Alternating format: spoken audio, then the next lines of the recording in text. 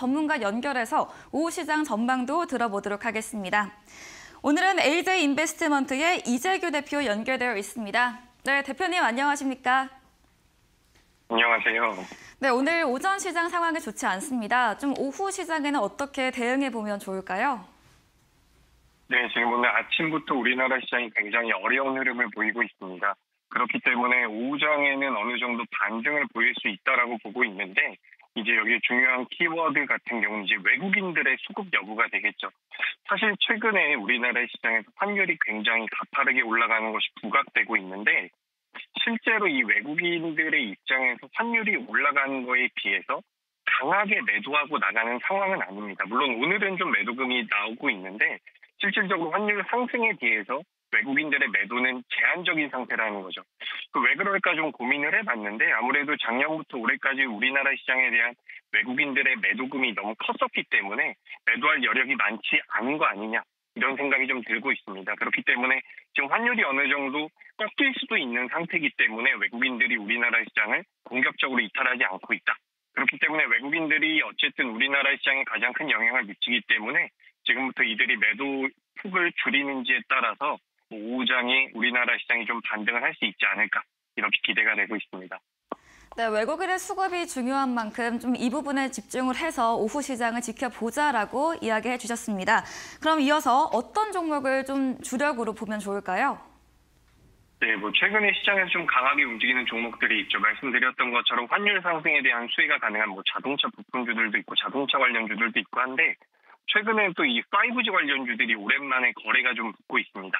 최근에 이제 미국 연방통신위원회에서 미국 전역의 이제 광역대 인프라 구축을 위해서 10년간 1조 이상을 투자하겠다라는 내용이 나왔는데 우리나라 기업들이 뭐 삼성전자라든지 우리나라 장비주들에서 부품을 모아서 5G 장비를 만들어서 북미 쪽에 대한 매출이 나오고 있습니다.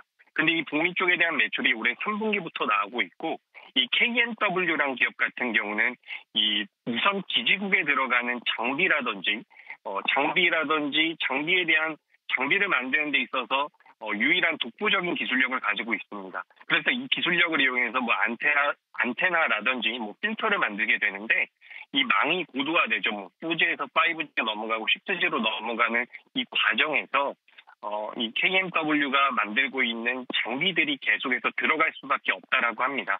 그렇기 때문에 지금 뭐 미국이든 우리나라든 계속해서 이 통신망에 대한 투자가 이뤄질 수밖에 없는 상황이고 그렇기 때문에 이 KMW라는 기업이 최근 들어서 시장 대비해서 견고한 모습을 계속해서 보여주고 있습니다. 그렇기 때문에 오후장에서는 이 시장 대비 좀 강세를 보이고 있는 KMW라는 기업에 어, 좀 관심을 가져보셨으면 좋겠습니다. 네, 그럼 KMW 가격 전략은 좀 어떻게 세워보면 좋을까요? 네, KMW가 현재 뭐 3만 2천 원대에서 거래가 되고 있는데 3만 2천 원대 초반에서 매수를 한다면 뭐 목표가는 3만 5천 원 이상 잡아도 된다라고 보고 있습니다. 이 5G에 대한 여러 가지 뭐 전문가들의 의견이 있는데 5G 같은 경우는 메타버스라든지 자율주행이라든지 앞으로 성장할 수밖에 없는 성장 산업에 대한 기반이 될 수 있, 기반이 기반을 마련하는 사업이기 때문에 이 5G라든지 통신 장비주에 대한 관심은 분명히 필요하단 말씀 다시 한번 드리겠습니다.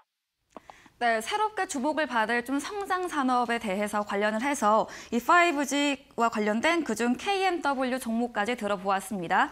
네, 오늘은 LJ 인베스트먼트 이재규 대표와 함께했습니다. 대표님 오늘 말씀 감사합니다. 감사합니다.